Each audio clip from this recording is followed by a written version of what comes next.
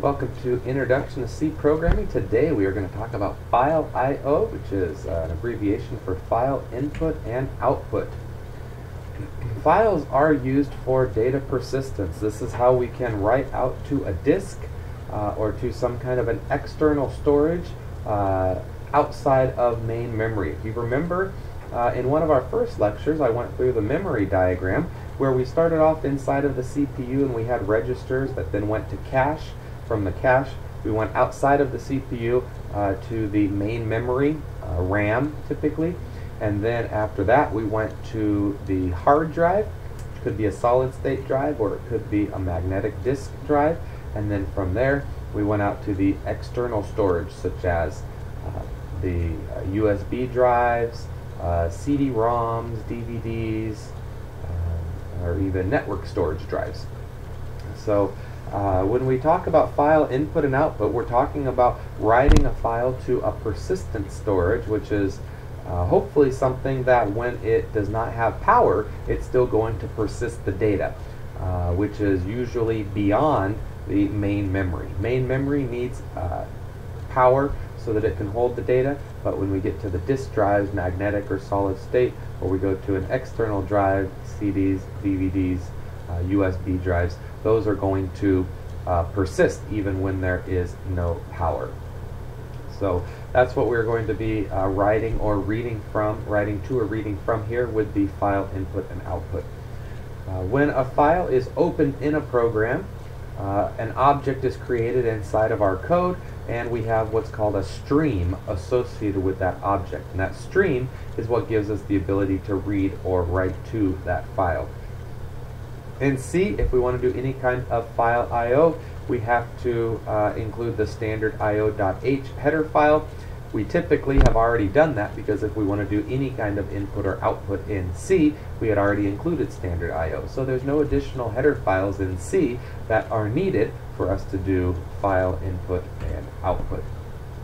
So here's how we can write to a file sequentially. The reason I jump right into code, I have two reasons for it. First of all, uh, I think that we're far enough along in our programming lives that we can start to look at code, and even if there's some things we don't understand, we can probably figure out uh, kind of what's going on. We understand functions and variables and pointers and uh, conditional statements and so on. So I think we can kind of figure out what's going on. The second reason is that file I.O. has a very, very big analogy to the same way that we do uh, input and output from the screen. So let's take a look at the code here so we can understand what's going on. On line 3, I am creating a file pointer. So there is a variable type called file, all capital letters, and we are going to create a pointer to a file. So I just said file, the name of the variable, or the type of the variable, followed by the star, and then the name of a variable. In this case, I named it f underscore pointer. That is just the name of a variable, and you could have named that anything that you want, any legal variable identifier. In this case, I've named it f underscore pointer. On line 4, I've set that pointer equal to uh, a function. The function is called fopen, and uh, fopen is a function that takes two parameters. You see it takes two char stars, and it is going to return to me a file pointer. So you can kind of figure out what that function does, assuming this code compiles, which it does. Uh, you can see that the fopen function is going to return to us a file pointer, and it takes two, two char stars. The first one, you could probably figure out what it means. That's going to be the name of the file that you would like to write to. So in this case, I'm going to write to a file called output.txt. The second parameter is a W. That stands for uh, writing. This means that we're opening that file for writing. I'll show you some of the other uh, uh, parameters you could pass in as that second variable there. Uh, uh, that means that we could open the file maybe for reading instead or appending. In this case, we're just opening it for writing. Let me caution you on that line of code right there on line number four. You have now gotten to the point where you have the ability to be dangerous. If you try to open up a file that already exists and you open it for writing, you have just overwritten that file and you will lose everything that is inside of it. So make sure that when you open a file for writing that uh, you're not going to be overwriting something. The location of this file output.txt is going to be relative to the location of the executable program. So inside of, uh, after you've written this code, it compiles and it compiles down to a .exe file. Wherever that .exe file is located is going to be the directory into which that output.txt file is going to be written. Um, that's generally safe because that exe file is probably not going to be in your Windows slash System32 directory. You probably don't want to do something like that because you have the ability to overwrite those files. Uh, most operating systems are going to protect files that are absolutely essential for the operating system to run. Having said that, I would not put that theory to the test. So don't try to overwrite files that are in the Windows slash System32 directory. Don't try to overwrite files that are in your slash root directory if you're in Windows or if you're in Linux or Mac. Um, you want to make sure that you're writing these probably to a user directory. Of course, you always have the ability and the option to write these files wherever you would like. Instead of passing in a relative file name right here, you could pass in an absolute path name. That would mean that in Windows I could pass in C colon backslash uh, users slash uh, J Miller slash desktop slash output.txt and then it would write that to the C colon users J Miller desktop directory. Uh, and then it would put the file name inside, or the file inside of that. So you can write with absolute path names, or you could write with relative path names. When you do relative path names, it's going to be relative to the directory that contains the executable file of your program, which is the compiled form of your file. Okay, on line 5, I say if f pointer equal equal null, that means that I can't write to the file. Start thinking about what reasons could there be that you wouldn't be able to write to a specific file? Well, there's a couple reasons. One of them could be that you uh, didn't have uh, permissions to write to that file. Maybe it was owned by another user and you were trying to overwrite it.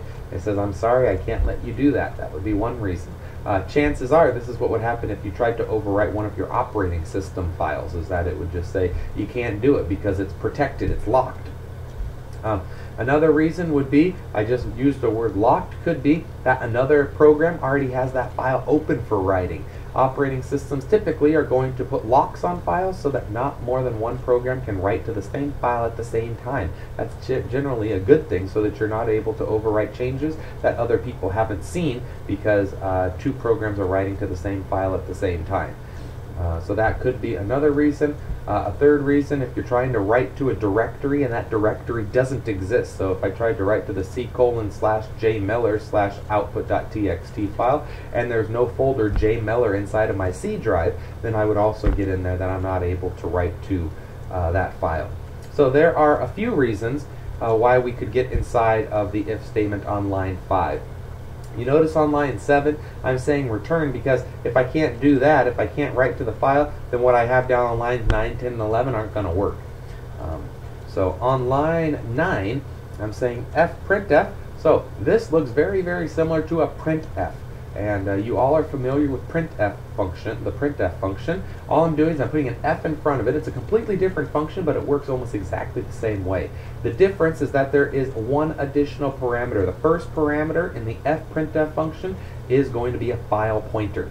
So I say fprintf, this means uh, print to a file, and the first parameter of that function is going to be a file pointer. Well, we're in luck. I have a file pointer. It's f underscore ptr. That's my file pointer. Then I put a comma, and after that, everything else uh, following that is just like a printf. So in this case, I just have hello world backslash n inside of my quotation marks. If I wanted to have uh, variables printed out inside of my quotation marks, I could have put percent %s, percent %c, percent %d, percent %f, and so on. I could have formatted with a percent dot %2f, and then I would just put a comma after the quotation mark and put the name of the variable that I would like to output. So everything after that works exactly the same way as a printf. It's a very nice analogy that the uh, inventors of C came up with so that if you know how to print out to the screen, uh, with just a very, very small modification of using the fprintf function and put passing the file pointer as the first parameter into that function, you are now able to write out to files also.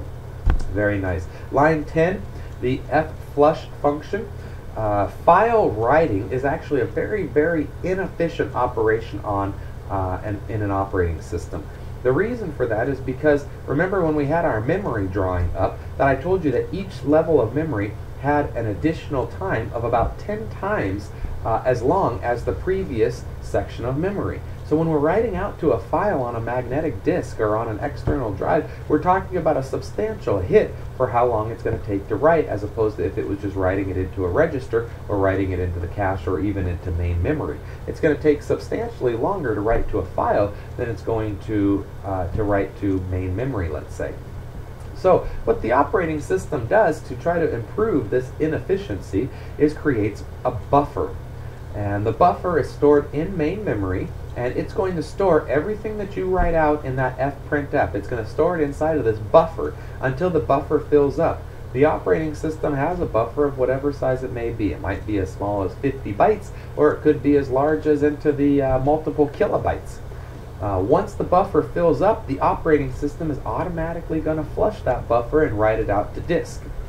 Now, there is a little bit of a problem that could happen there uh, is what if your buffer is not yet full, you've written something out and you think it's been written to the file, the buffer is not yet full, and then you have like a power failure and your computer just dies. Well, unfortunately, if that was still in main memory and had not yet been written to disk, you just lost that data because all of the data that you have in main memory doesn't get written out to disk right away and it doesn't persist through power outages. Um, so if we want, we can write out our data to disk that we put into our file. So on line 9, we put that hello world backslash n into the, the buffer, which is ready to be written out to the disk, but we don't know that it's been written out yet or not. If we want to make sure that it gets written immediately, we can call that function fflush, pass in the file pointer, and the operating system is going to flush whatever is in the buffer immediately out to uh, the file. This is um, the practice of flushing goes back and forth for whether it's good to or bad to. The operating system is going to flush automatically when uh, the buffer fills up. So you don't want to flush too frequently. If you were flushing after writing each character, then you would see a substantial decrease in performance of your program. On the other hand, you want to make sure, especially if it's something that's mission critical, uh, that you are flushing immediately after writing it. Something in this case right here, you probably could get away with not flushing, and as soon as the buffer filled up, the operating system would flush it to disk, and it would write it all out at that point.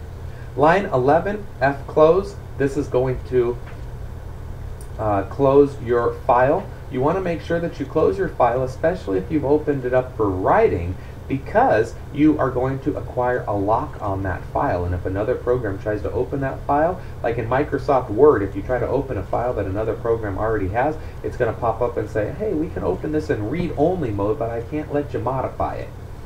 So you want to make sure that you close your file so that you release the lock on that file so other programs are able to operate on it if they need to. When you close a file, uh, the uh, buffer will also be flushed uh, immediately when you close it. So in this case, it's a little redundant that I have the flush immediately before the close because the flush is going to be called inside of the close function as well. I did that just to be a little bit more specific for you uh, so that you understand those functions and how they work. Okay, now as I told you on the previous slide, when we call the fopen function, we had that second parameter, which on the previous slide, since we were doing writing, uh, we passed in the uh, w. It's in a string, it's a C string, so it's going to have the quotation marks around it, and I passed in a w. If I want to be able to read from a file, when I call fopen, I'm going to pass in r instead of a w as that second parameter. Uh, writing is a W, appending is an A. The difference between writing and appending to a file, writing is going to overwrite the file if it already exists. Appending is going to leave the file intact and just write to the end of the file. Uh, so that's the difference between write and append. We have those other three uh, file open modes also, RB, WB, AB. This is specifically if you're going to be reading, writing, or appending to a binary file. So that would be like a, uh, uh, an image or a video. Uh, those would be binary files. And so uh, C actually works very well if you want to do any kind of video editing or um, uh, image editing. Uh, you can do that. You can apply some different uh, algorithms to it. It's pretty neat that you can modify pictures or images that you have on your computer. Of course, writing them to a different uh, file so that you're not actually overwriting the original one. But you can change it and put different covers on it. Maybe if you like a, a pink glare or that you can get rid of certain uh, colors if you don't like them in it. And you can do that in C and just open it up as a binary file, so an RB, and then you would be able to read through uh, all of the data in it. Of course, the way that the file is encoded is going to depend on the type of file that it is. So if you are going to try to do something like that, look up what the uh, format of like a JPEG file or uh, a GIF uh, or a BMP, depending on what your file type is, and you can find these are open standards, and you can see exactly what the um, uh, format of that file type is, and you would be able to go in and open it, modify it as you will. Uh, kind of a fun little program to write if you want to take uh, a little time on your own uh, to do that. I think that would be a fun project uh, for you to write, and you have the capability of doing it. So it's kind of neat that you can actually write a program which is somewhat useful uh, for modifying some of your video. Maybe you want to make it a little darker or a little lighter. You can do that uh, just by writing a little code, some algorithm for it. Okay, uh, now that we've gone over sequential file writing, our next slide here is on sequential file reading. So if we want to read from a file, uh, it's going to be very similar. You see line 3, I still have to create that file pointer object. Line 4, I'm still calling fopen. Uh, the name of the file is the first parameter, and the second one you probably could have figured out is going to be an R for reading. Uh, as we saw on that previous slide, it's a W for writing, it's an R for reading. Line 5, uh, same idea. So if for some reason I was unable to open that file for reading, then I'm going to get inside of that if statement and then return. So some reasons why we might not be able to open a file for reading could be uh, that the file doesn't exist. That would be a good reason. Uh, we don't have that problem with writing because if the file doesn't exist when we're trying to write to a file, it's just going to create it for us. So we don't have that problem uh, with file writing. With file reading, if the file doesn't exist, it's not going to create an empty file for us and have us try to read it. So instead, it's going to have fpointer come back as null from that uh, fopen function. And um, so that would be one reason. If we don't have permissions to open the file, that would be another one. Don't have permissions to the directory in which the file resides. That would be another reason uh, that we wouldn't be able to uh, open that file. Uh, okay, on line 9, I'm creating an integer that I've named num. On line 10 now, you see that this function is called fscanf instead of just scanf like we read in from the command line. So it's the same analogy that we had with the fprintf uh, on the file writing. So I'm going to call fscanf and then I pass in the first parameter is going to be my file pointer. The second parameter is going to be what's the type of the variable I would like to read in. In this case, it's a percent %d, an integer. And then the third parameter, in this case, the ampersand num, I'm going to read the first integer from the file into the num variable. That's what that line 10 means, is that I'm not reading from the command line. It's not a scanf, it's an fscanf. So I'm going to be reading from a file. And in this case, I'm saying, well, the first parameter that's inside of that file is going to be an integer, and I'm going to read it into that variable num. On line 11, I'm just showing that this is just a variable num. You can use it just the same way that, as if we had read it in from uh, the command line. So I'm just doing a printf. Printf is going to print it out to the command line. Remember, printf to the command line, fprintf is going to go to a file. So I'm just going to print it out to the command line saying, hey, here's the number that I just read from the file, and then print out a percent %d, and that's going to be num. Uh, we don't need to flush when we are doing file reading because there's nothing in the buffer that we need to flush. So we don't use the f flush function here. Instead, we just close it after uh, we're done with it. Again, you want to close it because if you have a file open, other programs uh, may notice that you have a lock on that file and they may not be able to execute uh, the same way as they would if you didn't have the lock on the file. So always make sure that you close your file uh, after you're done using it. So that's line 12 is the fclose function and um, I'm passing in my f pointer. So I'm passing my file pointer into it and that's going to be the file then that I close. Okay, our last slide now uh, for today. Uh, I'm showing you here how we can read through a file. We can read through all of the lines that are in a file. So you notice line 1 looks the same. It's the file pointer declaration. Line 2, opening the file for reading. Line 3, checking to make sure that I have access to the file, that I was able to open it for reading. Now, line 7, you see it's a while loop, and inside of that I'm calling a function which is FEOF. That might look a little weird. We don't say it FEOF.